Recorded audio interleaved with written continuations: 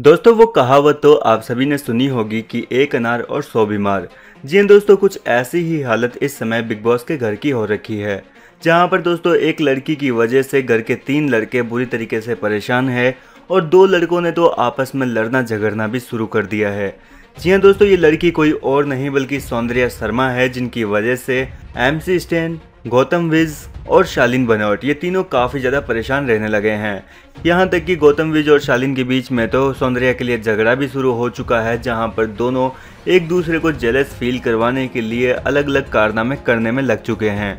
दरअसल दोस्तों, सौंदर्या शर्मा अक्सर कभी शालीन के साथ बैठकर बातचीत करती है, जिसकी वजह से एम सी स्टेन और गौतम विज को बुरा लगता है।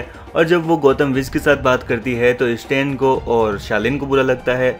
और जब वो स्टेन के साथ बात करती है तो कहीं ना कहीं गौतम और शालीन इन दोनों को काफ़ी बुरा लगता है। लेकिन दोस्तों, अब आखिरकार बिग बॉस के लाइव फ़ीड में घर के अंदर इन लड़कों का सब्र का बाँध टूट चुका है और गौतम विज और शालीन के बीच में सौंदर्या शर्मा को लेकर पूरी तरीके से झगड़ा शुरू हो गया है।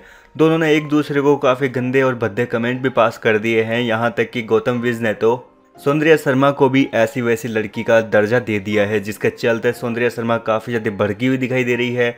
तो वहीं दूसरी ओर शालीन भी काफ़ी भड़क चुका है, जिसकी वजह से इन तीनों की कहीं ना कहीं थोड़ी बहुत जो बॉन्डिंग बन पाई थी, वो पूरी तरीके से बिखर चुकी है।